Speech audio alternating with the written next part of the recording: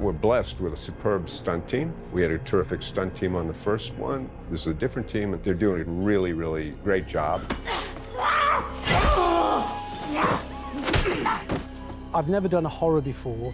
Definitely the violence is slightly different. It was appealing. I wanted to try it and see what it's like, and it's a totally different animal